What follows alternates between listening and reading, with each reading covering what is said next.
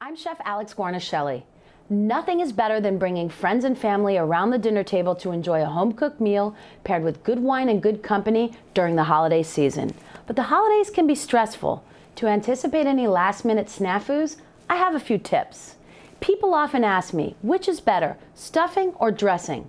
If yours seems dry, pour some chicken broth flavored with a splash of wine.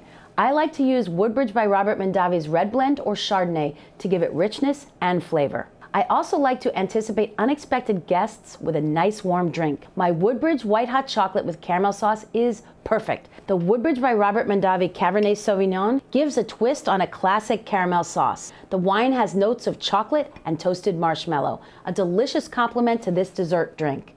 For more tips and my favorite recipes, including my vegetable lasagna, follow Woodbridge by Robert Mondavi on Facebook and go to woodbridgewines.com to find retailers near you.